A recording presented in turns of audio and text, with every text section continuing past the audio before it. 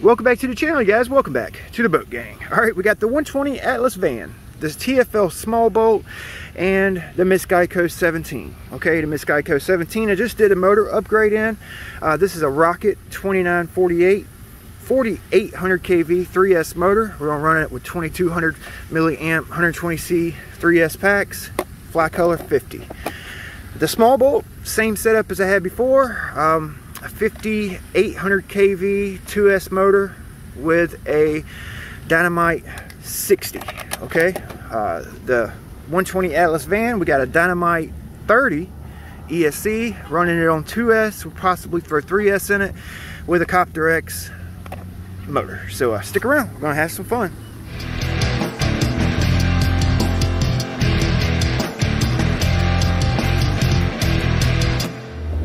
So I think I'm gonna start off with the with the 120 Atlas, and uh, then the small boat, and then the Miss Geico last, because uh, that's a new setup, new motor. I don't know how it's gonna run. So let's get this bad boy here taped up. All right, go get him, little Bill. So I actually have the wind coming out of a couple different directions, so I'm gonna have to be really careful. It's mainly coming from that direction, so um, we'll go easy on the back stretch and then kind of give it the beans on the front stretch here. Oh, 2S. 2S is pretty good. All right, let me turn my steering rate up a little bit here. There we go.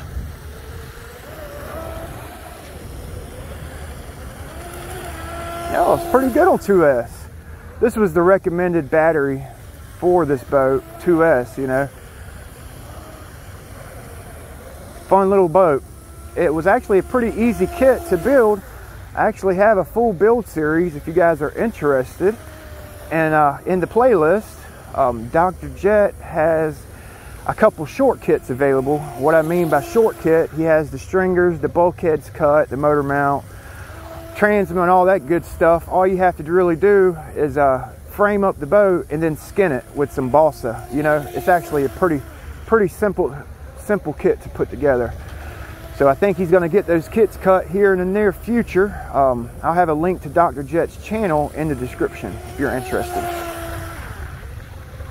It's running good on 2S. It's kind of its sweet spot. 3S, man, she she's fast as all get out on 3S, you know. But she uh, she likes to blow up off the water on 3S. Little Bill Muncey can. Oh, I just right in, it, I went into the wind. There's a little gust right now. she blew up off the water, which my battery might have got shifted because it's uh, kind of loose in there. It looks like it did get shifted a little bit. Dancing, dancing, dancing, dancing in the straight, boy. All right. All right, that's our battery, I believe. Might actually have some battery left. Um, there was some pine straw on the propeller. Yeah, that's what it was. Yeah, a little 30 dynamite's pretty good. All you need is a little outrunner motor for it, or I guess the inrunner. There's no water cooling. No water cooling in this boat at all. It's all air cooled. Um, I went with the Dynamite 30 just because it's a little, you know, little, little, little more than what I needed so that the ESC don't heat up with no water cooling, you know. Old, old, uh, what is it, 1970 style hydroplane, I think. Atlas van. You can make it any, any, any hydroplane uh, theme from that era, you know. Really kicking myself in the butt for not getting that round nose that I won in the in the micro racer challenge last year, I chose the small bolt over the round nose, and I'm really kicking myself in the butt for that. there we go. Get it, little Bill. Oh, oh, oh, oh. That little 430 don't draw much current, so I get a long run time, you know. Nothing too aggressive.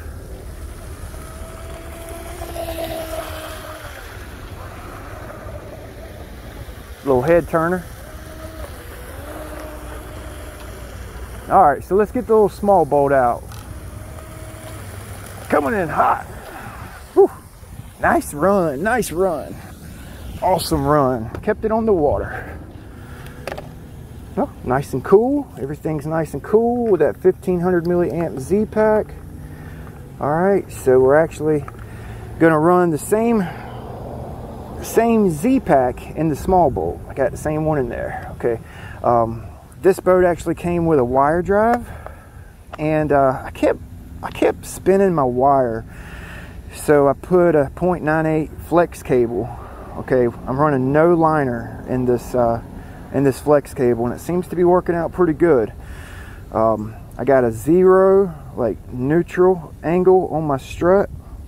Okay. Um, and my my sump my, my tunnel right here it's level. You know I got the height set so it's all level. All right. Um, neutral on my turn fin. No negative or positive. It's perfectly neutral. All right. I got all my remotes kind of set up with the boat here. Makes it easy for me. Just using an old STX2 that seems to be perfect for these little boats you know. Uh, oh man, I can't remember if I ran this battery forward or aft. I think I'm going to try it forward here. You know, Oxidean 430 three blade, and I did a little tune before I left the house. I put just like a half a degree negative angle on it, so it's not the same tune I had last time I had this boat out, which has been quite a while. So let's see how it does here. This is a high KV motor, 5800 KV on 2S. wow, she's booking, boy. All right, with the wind here.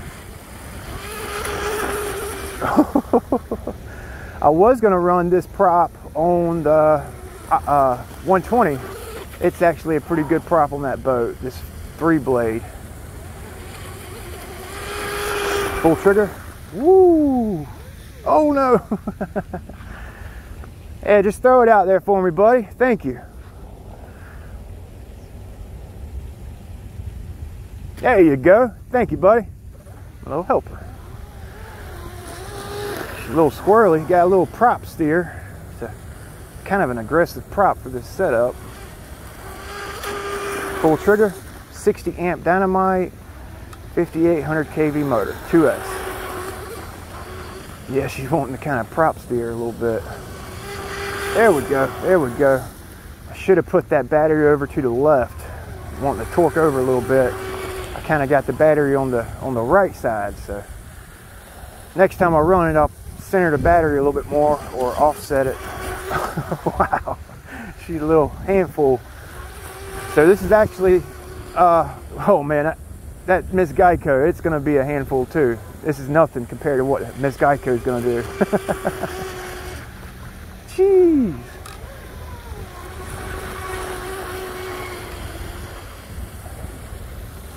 This boat here, it's a three-point hydroplane, eh, but it doesn't like a turn fin. You know, it, it, does, it turns good without a turn fin.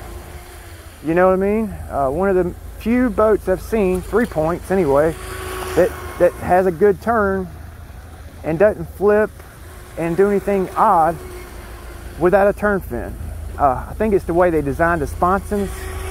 They kind of have a um, some dead rise on both sides of each sponson, like some dead rise. It's kind of like like cup, like uh, like I don't know how to explain it. I'll show you in a minute.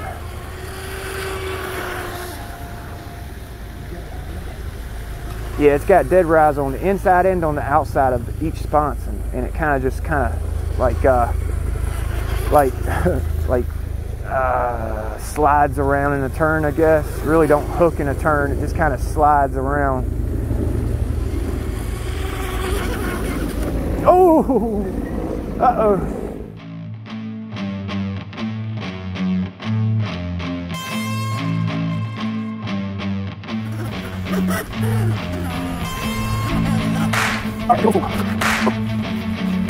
Okay, so we got it recovered. The recovery boat is not working. I think the ESC is bad. I might have left some water in there with the top on it. Oh, this battery's dead now. All right, well, we'll bring it in that was actually pretty fun. Pretty fun. Temps are good. Temps are good. Okay. So uh, we're going to run the Miss Geico now. I know, I know. My tape job looks terrible on this one. But uh, it's probably going to spend some time upside down. So I'm going to try to keep it close to the bank. I have a Flycolor 50 in this boat with this 29 48 4800 kV motor. Uh, this 50, it's not quite enough for this high kV motor. Okay, so I actually propped the boat pretty conservatively so it don't draw a lot of amps just so I could see, just get a baseline. Um, we may actually have to put a larger ESC in here. Um, I think this motor pulls like 78 amps on the little motor spec chart, which uh, is probably to pull more than that. But this ESC actually has a burst, and I, I set my timing kind of low. Um, well, it's a Y wound motor. I got my timing at 10, I think. Yeah, 10. So this is a, a 427 round ear.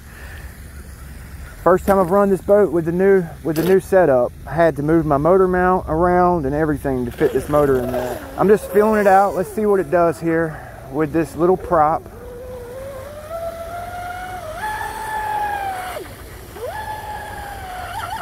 Round ear prop. So it's uh oh, it's taking a second for it to, to get going. It's cavitating until it, when it catches, just call it she's fast.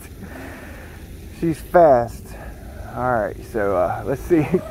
So it takes a second for it to catch. Like I said, it's a round ear. Bouncing.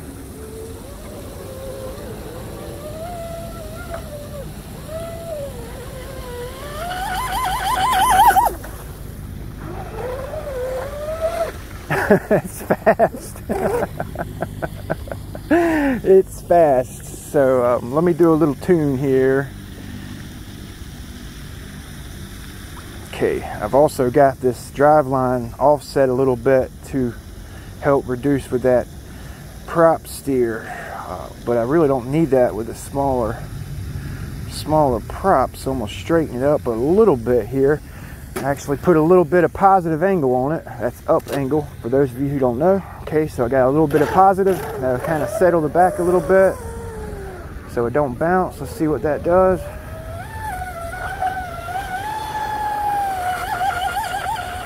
Yep, there it went. That was it. A little bit of positive.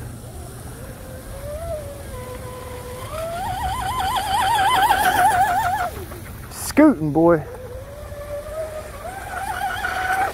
Oh!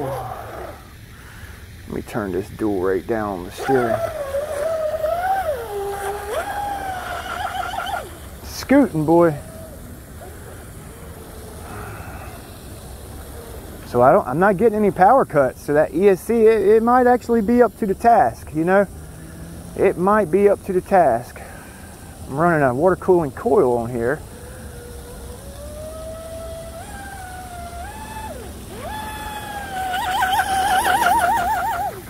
Little bounce. Might need to move my CG around.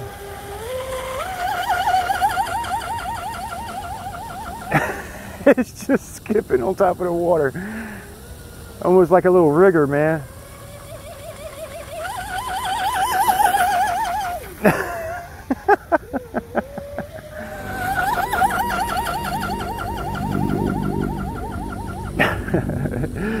just a scooting boy.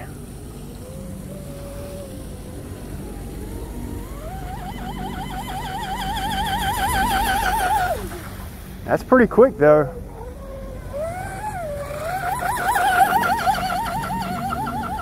She's bouncing, but she ain't flipping or nothing.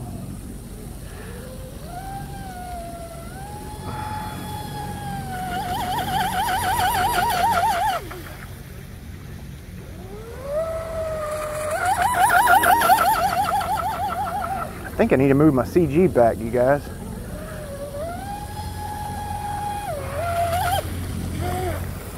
Yeah let's let's see if I can shake it back here.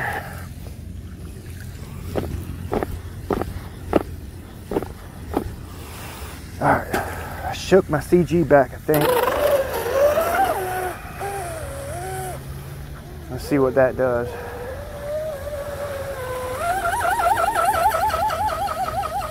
No better.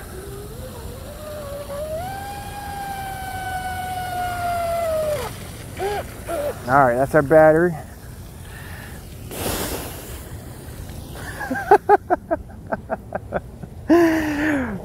oh man, she was just as scooting just as hard as she could, boy.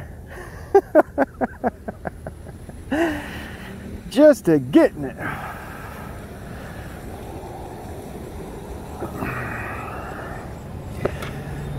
All right, so I don't have a temp gun. That's a bummer. I want to feel these temps on everything because it actually seemed seemed like it was doing pretty freaking good there. I mean, uh, you know, motor ESC wise, no power cuts or nothing, you know, out the ordinary.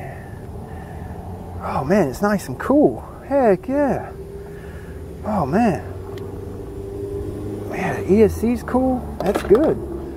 So I'm running a cooling coil on here because I didn't have any water jackets that would fit in there with the hatch on. Actually um, had I cut my, my, my stuffing tube shorter and I took the motor mount out, grinded all the epoxy off, and moved it. I moved it back so I could fit that larger diameter motor. I've been running a 380, you know, 380 size motor, and it actually fits in there pretty good.